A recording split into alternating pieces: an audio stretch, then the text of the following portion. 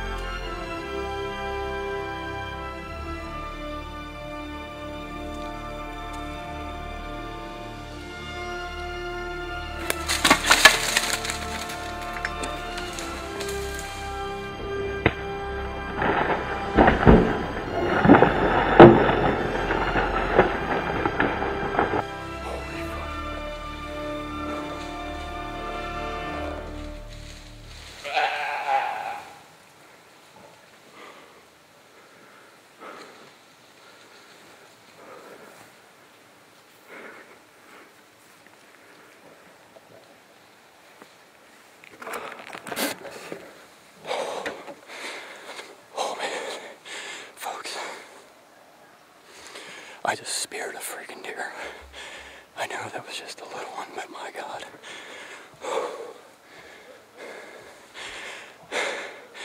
That could have been a 300 inch whitetail and I wouldn't have cared.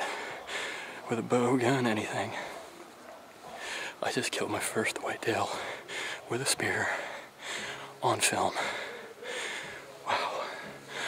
I feel just like freaking Geronimo right now. Shout to you, Jared.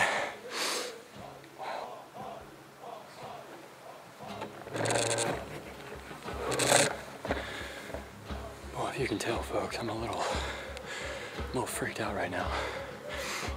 I had to take a break there. What you saw down there in the ground was left of the aerial assault which just took place here. It's a, it's a cold steel special right there. That's the Lynn Thompson uh, cold steel boar spear. It's a, it's a good weapon. It put him down quick, let me tell you. But, uh, oh man, never been this jacked up. I wish I could share this with the folks out there. If I could put this in a bottle and you guys could drink it, I'd be a millionaire. Stay tuned for more spear hunting action right here on Relentless Pursuit. Live as it happens, folks. All right, here he is. He's down.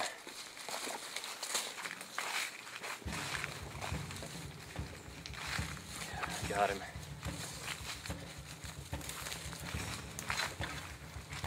Come on in close, Yeah, here we go. First, first one with a spear. Not, uh, not the biggest deer, but we're not after antlers today. It's not all about that. Sometimes it's about filling the freezer, so man, tell you what, that cold steel, that cold steel really did a number on this thing. Damn near uh, almost tore him completely in half here. But uh, got the job done, got it done quick, put him on the ground. So it's getting dark, so I'm gonna try to get him out of here, uh, get him cut up and get him put in the freezer. One more down right here on Relentless Pursuit. Stay tuned.